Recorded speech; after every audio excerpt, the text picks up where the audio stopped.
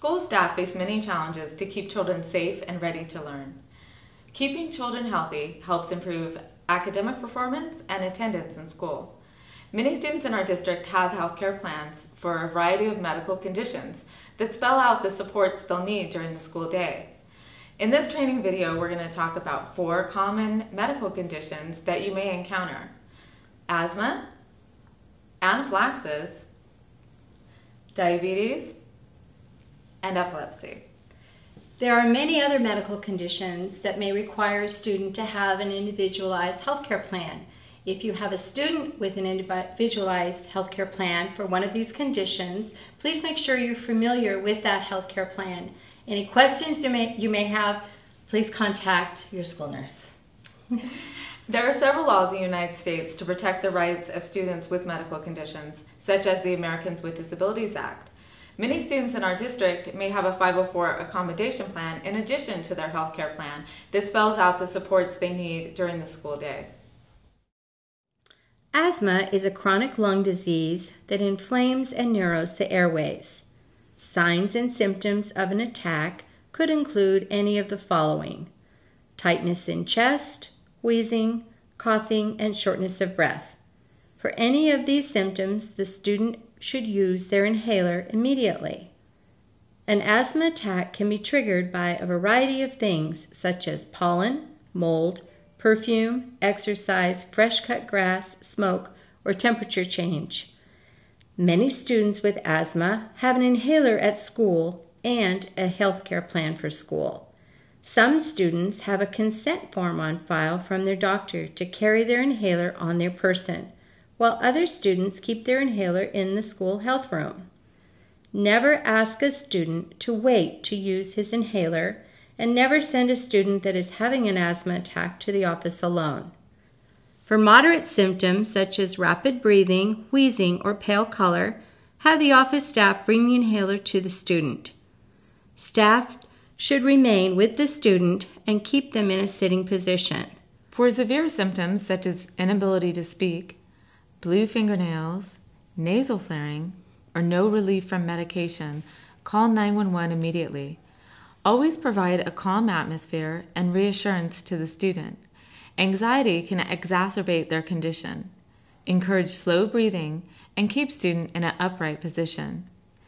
If a student has an asthma attack and no inhaler is available at school, call 911. Most students use their inhaler independently, but some students may need assistance, especially in times of distress. Student will take off the cap and shake inhaler. Have student breathe out all the way. Student will hold the inhaler to mouth and start breathing in slowly through their mouth and press the inhaler down one time. Encourage the student to hold their breath as you count to 10 slowly. This lets the medicine reach deep into their lungs. Have the student wait about 1 to 2 minutes before they take their next puff. After using the inhaler, have the student rinse their mouth with water and spit out if desired. Some younger students may use a spacer for inhaler use. If they use a spacer, press down on the inhaler and have them breathe in slowly for about 30 seconds with the mask held tightly to their face.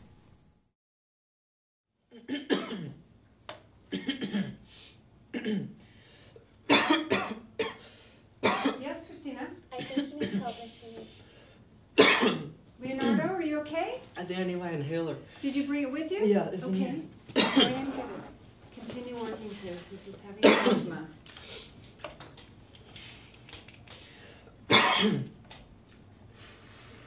Okay, make sure to hold it in for ten seconds.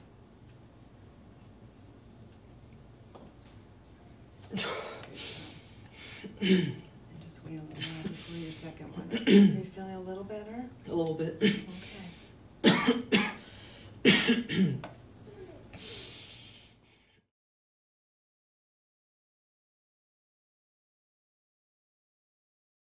Anaphylaxis is a potentially fatal allergic reaction.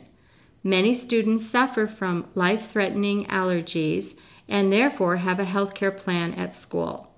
The prevalence of food allergies is increasing. Death can occur in minutes from the onset of symptoms. In an allergic reaction, the body releases histamine, which can cause swelling of tissue, itchy or scratchy throat, a hoarse voice or a change in pitch, a rash, body itching, hives, tightening in the throat, or difficulty breathing or and wheezing. Coughing to clear the throat, abdominal pain leading to vomiting, swelling of the face, ears, and lips. Some students can have a reaction from just touching an allergen, even if they don't ingest it. In recent years, we have seen an increase in peanut or nut allergies. It is important to inform classroom parents, especially the room parent, if there is a student with food allergies in the class.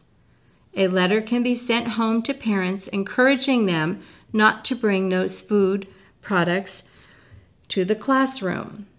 A sample letter is available from nursing services. Always educate students regarding not sharing food and also about nut free eating areas that are available and encourage good hand washing. If a student is allergic to bees and there is a swarm, keep the student inside to avoid being stung.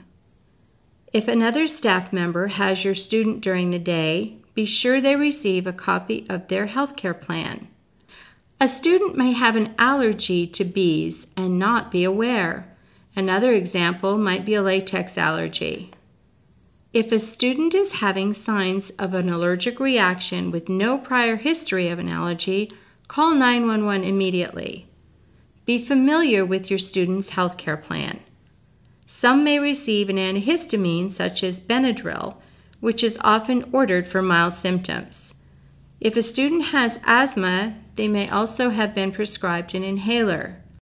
Students with known severe allergies usually have epinephrine prescribed, called an EpiPen or Auvi-Q.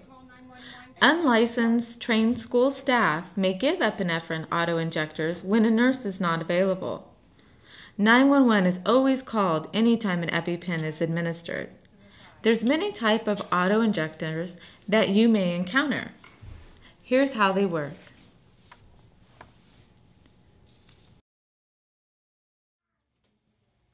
Miss Tanya was done by the and put down. Oh, Denise, can you call 911? Yes, I'll call Have a seat, 911 honey. right I'm gonna get your EpiPen, okay? Just kind of take some deep breaths and stay calm. Okay, go ahead and get your leg up here. So I'm gonna use your leg right here to give you your medicine.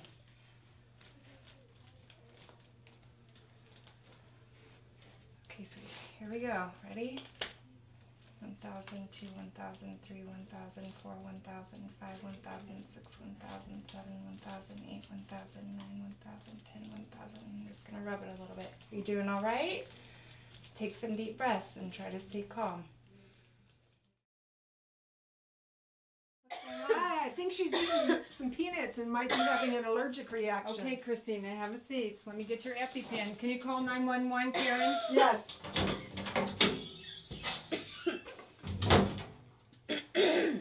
Okay. Blue to the sky, orange to the thigh. 1, 1,000, 2, 1,000, 3, 1,000, 4, 1,000, 5, 1,000, 6, 1,000, 7, 1,000, 8, 1,000, 9, 1,000, and 10, 1,000. Okay, just take nice, slow, deep breaths until the paramedics are on their way. Okay. Feeling better? Mm-hmm. Okay.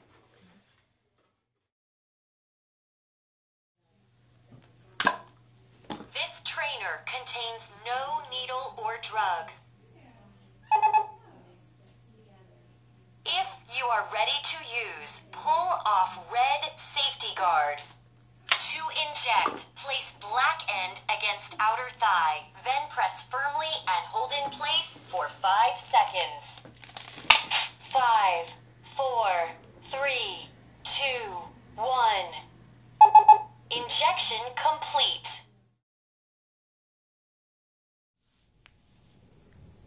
Stay calm. Hesitating to use epinephrine or not using at all can lead to a life threatening situation. Don't wait. Remove the EpiPen from the case. EpiPens can be given right through clothing. Pull off the safety cap. Maybe blue or gray, depending on the manufacturer. Hold the black or orange tip near the thigh. Swing and jab firmly until you hear a click. That means the auto injector is functioning. Hold in place and count for 10 seconds.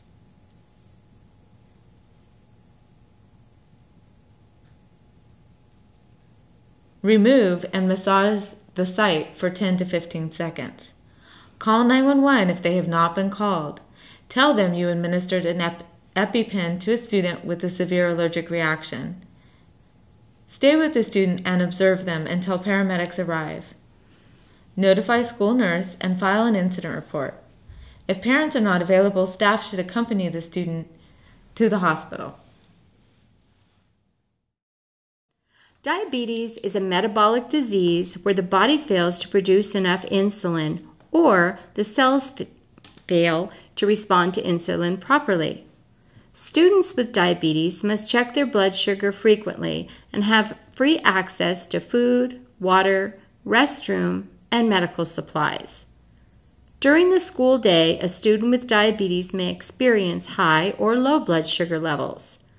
If a student feels symptoms, they should test their blood sugar right away. A student can check their blood sugar anywhere on campus. Most students keep a blood sugar testing kit on them and one in the office for backup.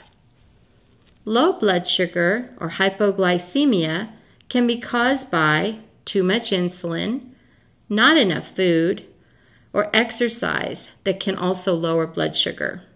Common symptoms of hypoglycemia can include a student may feel lethargic or droopy, their hands may be shaky or sweaty, personality change, or the student may feel hungry. If a student has symptoms, they should test their blood sugar right away. A blood sugar below 70 should be treated immediately. Treat low blood sugar with fast acting sugar such as juice, 7 Up, or sugar or glucose tablets. The student will retest their blood sugar in 15 minutes. Follow your student's health plan regarding treatment. Notify your nurse and call the parents. Never send a student that has a low blood sugar or is complaining of symptoms to the office alone or leave them unattended. If a student is lethargic, cannot safely swallow a fast acting sugar, or is unconscious, glucagon should be administered. Then call 911, the nurse, and the parent. This is typically done by trained office staff. To administer glucagon, remove the flip off seal from the bottle of glucagon. Remove the needle protector from the syringe and inject the entire contents of the syringe into the bottle of glucagon. You can then remove the syringe from the bottle. Swirl the bottle gently until glucagon dissolves completely. The solution will become clear. Using the same syringe, hold the bottle upside down, making sure the needle tip remains in the solution. Gently withdraw all of the solution from the bottle. Eject any air bubbles from the syringe. The usual dose is 1 milligram, but for smaller students, you may give half an adult do- dose, 0.5 milligrams. Be familiar with your student's healthcare plan for their dose of glucagon. Inject into a site you can easily access, such as the arm or thigh. Then turn the student on their side. When an unconscious person awakens, he or she may vomit. Turning the student on their side will prevent them from choking. Always call 911 when glucagon is given. If left untreated, a student could lapse into a diabetic coma. High blood sugar or hyperglycemia is because of not enough insulin or too much food that is converted to sugar. Common symptoms of hyperglycemia can include thirsty or hungry, stomach ache or vomiting, headache, and frequent bathroom use. To treat the symptoms of high blood sugar, the student should be offered water and follow the healthcare plan regarding the treatment. This may include administering insulin, and the nurse should be notified. If hyperglycemia is left untreated, a student could lapse into a diabetic coma.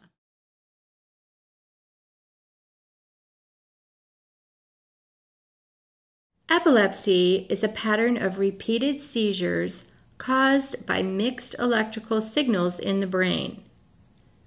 There are many different types of seizures. Generalized are produced by electrical impulse throughout the brain. A student may lose consciousness, have muscle rigidity, such as a grand mal seizure. In partial seizures, you might see fluttering of the eyelids, loss of awareness, twitching or tick like motions, or staring with no signs of awareness.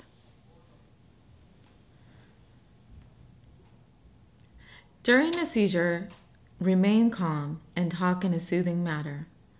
Do not restrain the student. Begin timing at the first sign of unusual activity. Protect the student from hazards. Do not attempt to put anything in the mouth. Turn student on the side if student is on the ground. Do not move the student unless they are in danger. Observe the student for airway, breathing, and circulation. Extend chin to facilitate breathing if breathing difficulty is noted.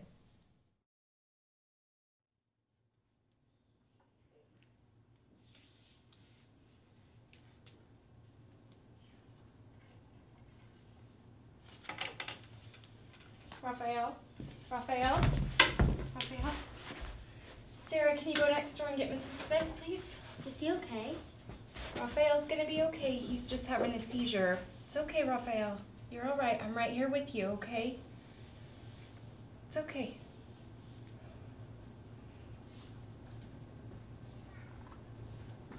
It's all right, Raphael. You're okay. Call 911 for any seizure lasting longer than five minutes or as specified in the student's individualized healthcare plan. Call 911 if the student turns blue or appears to have difficulty breathing. If a student vomits during a seizure, if a student inhales water during a seizure, or if a seizure results in a fall with a possible head injury. After the seizure, comfort and reassure the student as the seizure ends. Protect the privacy of the student. They may soil clothing during a seizure. Student may be exhausted after the seizure and need to rest. Notify parents and school nurse and document in seizure log. Some high risk activities, such as swimming or playing on an elevated play structure, will need clearance from a neurologist. Consult the healthcare plan for specific guidelines for your student. If a student has no previous history of epilepsy, any seizure is a 911 call. Some students may have a drug called Diastat ordered to stop seizure activity. Diastat is administered rectally. Diastat would be administered only by your school nurse or staff that's completed a Diastat training program. These students have an emergency healthcare plan in place for the administration of Diastat.